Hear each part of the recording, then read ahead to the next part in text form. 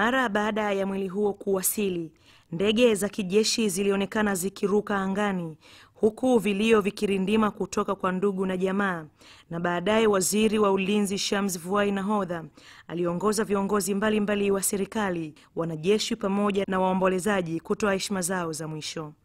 Akizungumza na waombolezaji, waziri wa ulinzi amesema tukio hilo halitawakatisha tamaa wanajeshi wa jeshi la wananchi wa Tanzania kuendelea kulinda amani mashariki mwa Jamhuri ya Kidemokrasia ya Kongo ili kuhakikisha wanyonge wa nchi hiyo wanaishi kwa amani. Nampa pole mkuu wa majeshi ya ulinzi Jenerali Davis Mwamunyange na makamanda wa jeshi la wananchi na jeshi la wananchi wa Tanzania kwa ujumla na wanafamilia kwa kumpoteza Luteni Mlima. Tume, tumempoteza afisa wetu katika kipindi ambacho alikuwa akihitajika sana. A, amefariki wakati akitekeleza jukumu hilo la kulinda amani, na bila shaka ndiyo tumempoteza, lakini damu yake haitamwagika bure.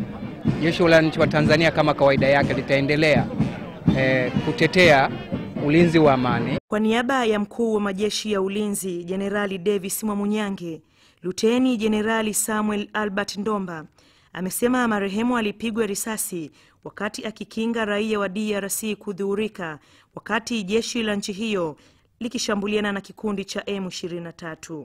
Tunaungana na familia katika kipindi hiki cha maombolezo na wakati huo tukiendelea kumwomba Mwenyezi Mungu awape faraja na ustamilivu katika kipindi hiki kigumu cha majonzi.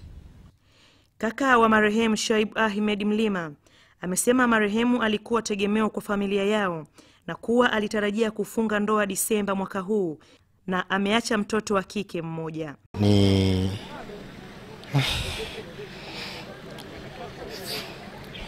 Luteni Rajabu ni mtoto wa mwisho miongoni mwa watoto wa mwisho mwisho wa mzazi wetu au wa baba yetu. Tumefatana kuzaliwa, amenitangulia miaka mitatu, na Luteni Rajabu alikuwa ni tegemeo kwetu kwa sababu alikuwa ni mtu muhimu. Rajabu hajaoa ila alikuwa na matarajio ya kuoa na alikuwa amekusudia kuoa mwezi wa kumi na mbili tarehe ishirini na nane na tulishakaa vikao takriban vitatu kuhusu ndoa yake. Ni safari ya mwisho ya mwili wa Luten Rajab Ahmed Mlima.